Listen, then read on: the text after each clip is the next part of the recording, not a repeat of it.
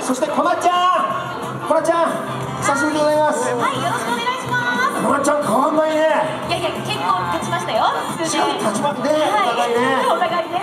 優勝した時楽しかったねそうですね。また見たいですね。そうですねもうあの僕の先輩で島村幸雄さんってもう亡くなった方がいるんですけども お元気です。あの亡くなった島ちゃんもねはいきっと多分この貴様の陰で見てると思いますけども 下村。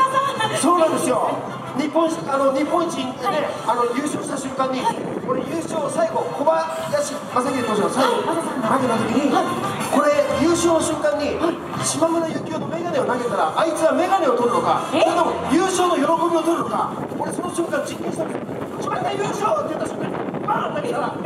島村さんわーって眼鏡取りたんですよ。あ、メガネが落ちちゃいました？優勝の喜びこうやっていきましたね、はい、人は優勝よりも眼鏡を取ります事件検証され